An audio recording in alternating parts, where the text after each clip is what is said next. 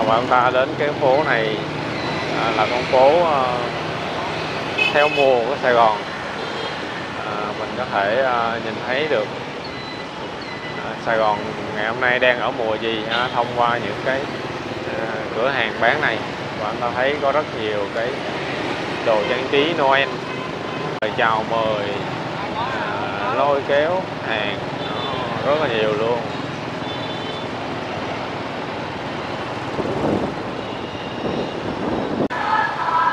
Và theo à, theo tài liệu thì à, nhà thờ này sẽ có một cái đường hầm đi đến dinh Gia Long luôn. À, nhưng mà ngày hôm nay thì có lẽ cái đường hầm đó sẽ không còn nữa.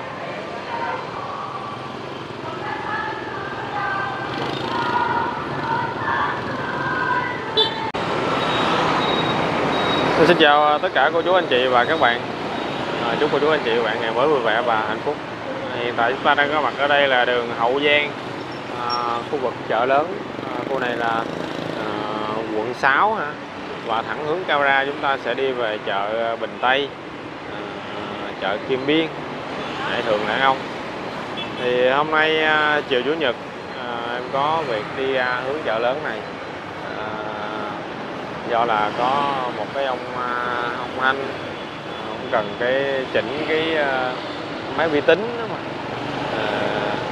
chỉnh xong rồi à, à, sẵn trên đường về thì à, em dẫn các anh chị bạn bạn chúng ta cùng à, đi một vòng cái khu chợ lớn này buổi chiều ha để mình xem cái không khí à, ở đây như thế nào ở những ngày à, cuối năm.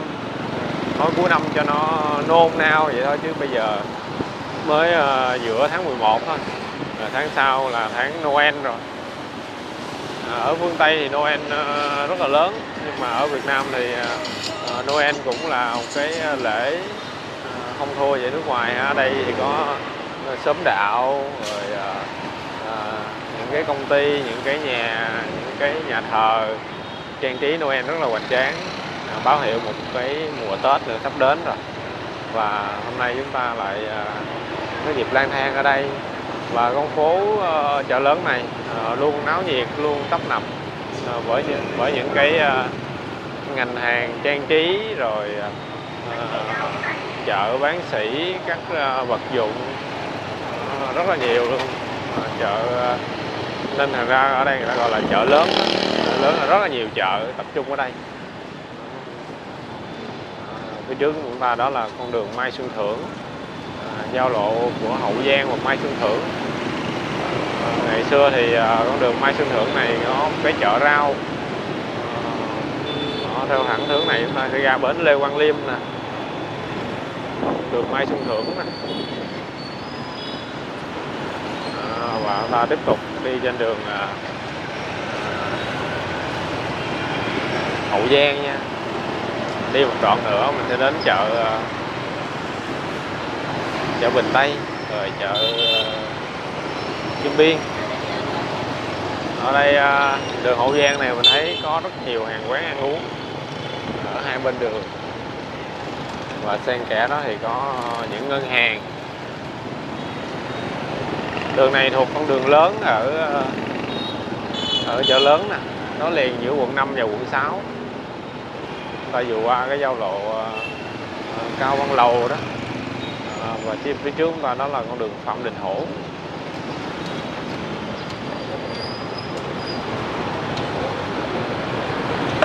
à, đường phạm đình hậu này cũng uh, thẳng ra ờ, bến bình đông luôn ha. Ô bến uh, bến trần văn kiểu.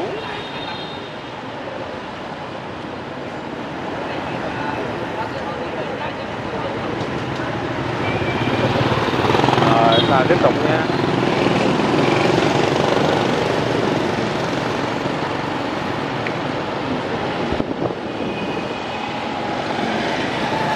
ở khu vực này thì em nhớ ra một cái comment rất là cũng rất là lâu rồi. À, em chưa có thực hiện kịp. À, đó là căn nhà số 300 Lê Quang Sung. Thì à, nếu chút nữa à, có thời gian chúng ta sẽ à, à, chạy một vòng qua đó xem sao ha.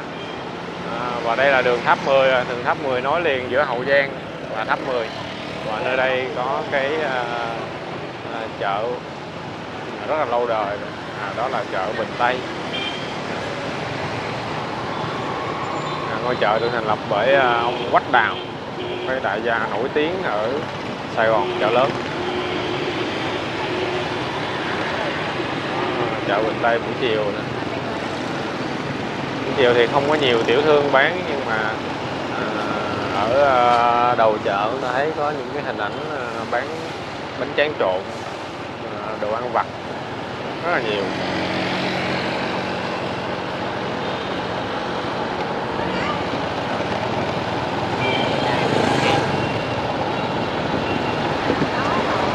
Rồi hôm nay trời rất là mát.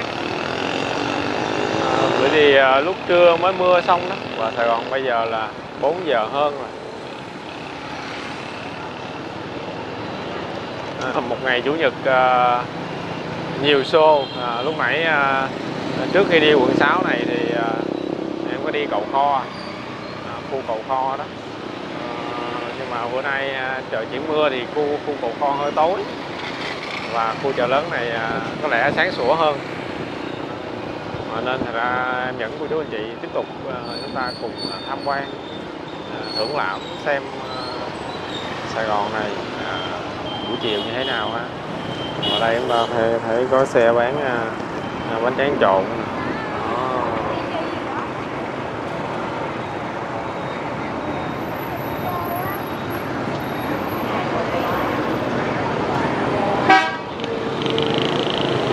Rồi, ta tiếp tục ha.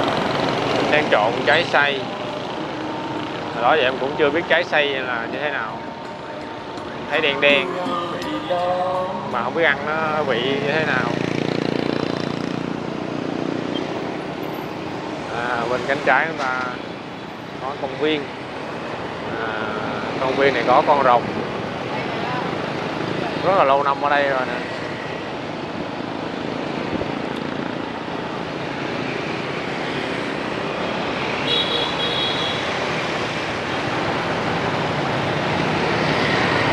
Và hôm nay ngày Chủ nhật thì à, à, Sài Gòn cũng à, yên ắng hơn.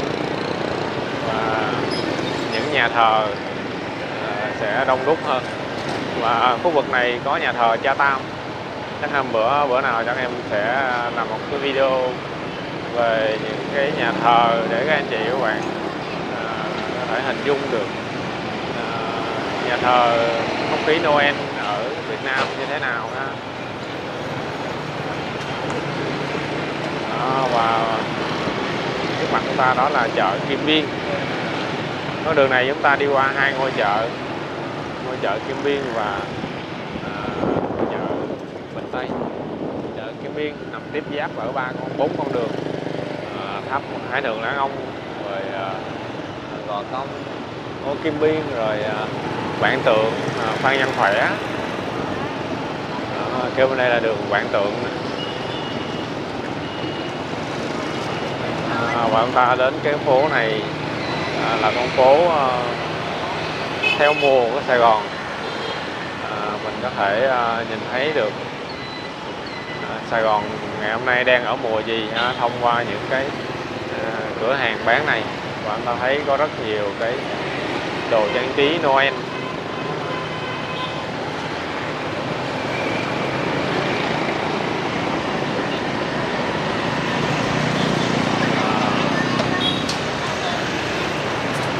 nón Noel cây thông Noel rồi tuyết rồi ờ, dây kim tuyến rồi đèn led. Quá trời. Cả hai bên đường luôn ha.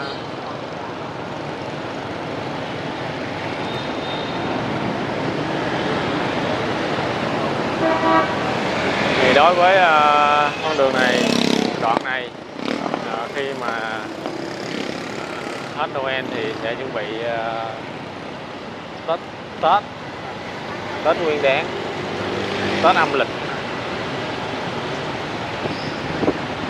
Cứ thế mà thay đổi Tết xong rồi lại uh, những cái ngày lễ hội rồi uh, không có lễ hội gì thì uh, đồ cưới uh, cứ thế mà con đường này trải qua mấy chục năm về những cái ngành hàng như thế này lê quay lê quay hết một năm.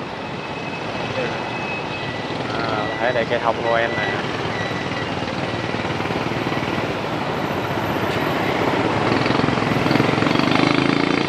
Đó.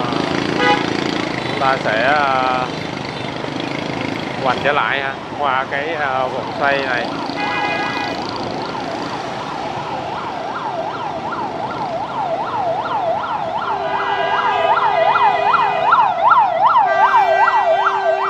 À, thẳng hướng này là Châu Văn Liêm nè.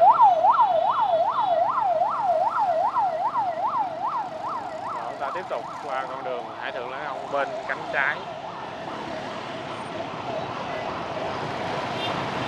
Ở đây thì à, cũng như bên kia à, bán rất là nhiều luôn. Hàng hóa tấp nập bán sỉ bán lẻ.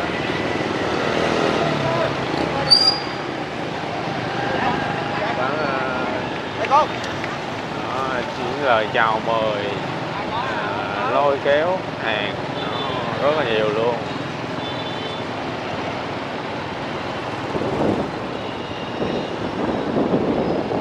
Và con đường này rất là đông vui những ngày lễ hội rất là vui. À, tiện tới đây chúng ta lại thèm nước sâm nữa. Lấy nước sâm nữa ta. À, và ở đây là đường Phùng Hưng rồi nè.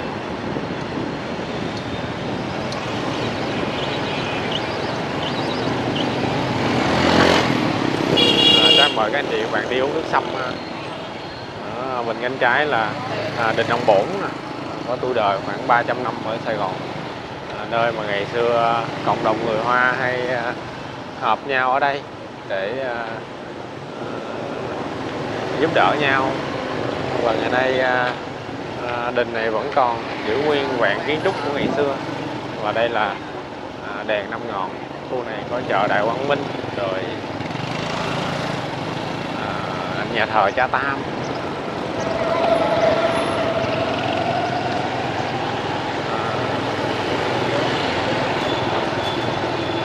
Bên kia là chợ Phùng Hưng đó.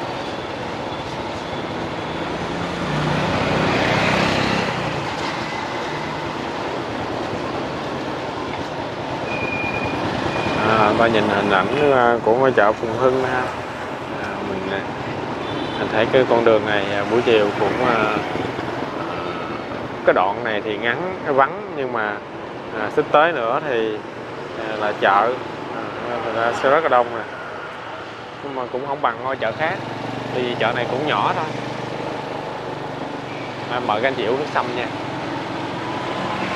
Mình uống nước sâm ngay chỗ góc đường à, Phùng Hưng và Nguyễn Trãi. Không biết nay có bán không? À, bên kia là chợ đó. À, Lấy một ly 24 vị. Nhiêu tiền vậy?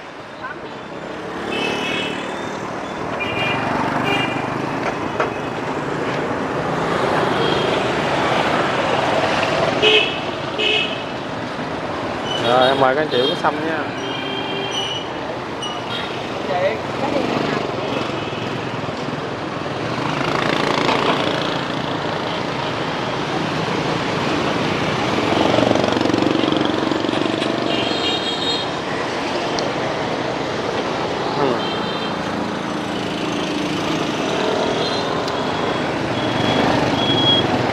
Rồi chúng ta tiếp tục nha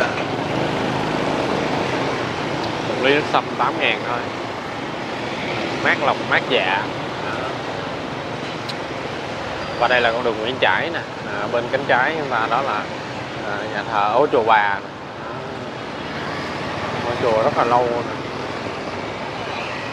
À, Những ngôi chùa ở đây à, có kiến trúc tương tự nhau. Ở à, trước cổng chùa thì có hai cái đèn lồng đèn. Có những lồng đèn à, thời vua Càn Long luôn á.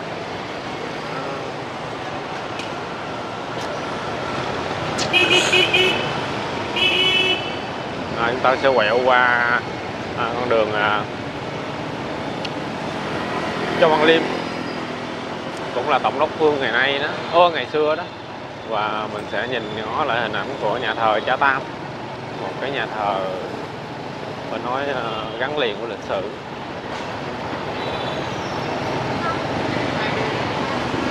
À, em có hiểu phải trường hương đạo bơi ha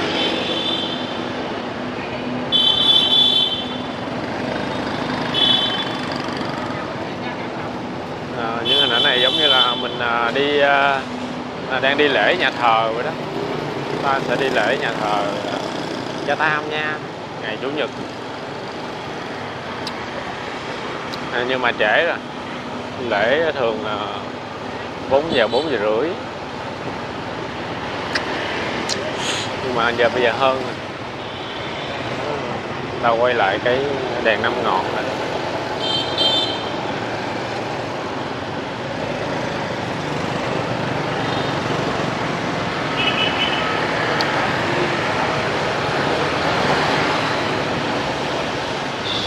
à, bên cánh trái đó là chợ à, Đồng Khánh chợ vải chợ Đại Quang Minh ngày xưa đó thói Kình Lâm đó.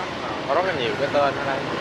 Nhưng mà mà theo thời gian thì ngôi chợ này vẫn à, giữ nguyên cái sứ mệnh à, bán vải. Rất là nhiều các loại vải. Vải cây vải mét vải uh, vải vùng rất là nhiều kiểu rất là nhiều loại luôn. Và phía trước mặt chúng ta đó là nhà thờ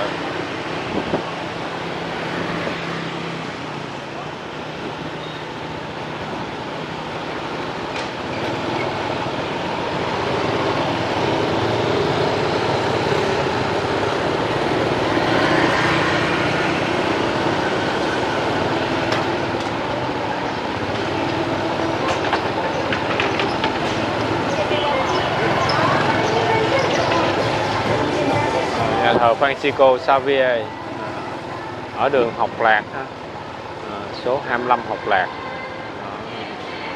và nhà thờ đang à, đang làm lễ đó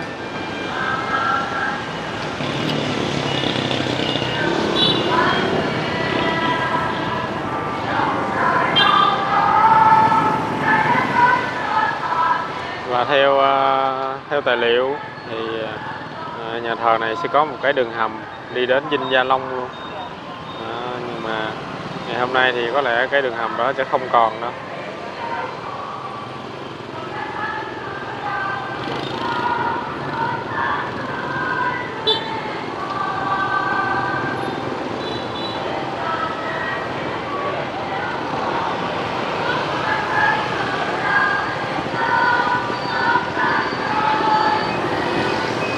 rồi thôi chúng ta tiếp tục ha.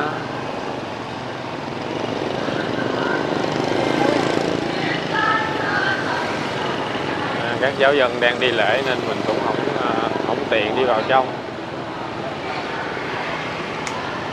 À, hẹn các anh chị bạn à, hôm nào ha. Hôm nào chúng ta sẽ đi đi vào bên trong để xem thế nào.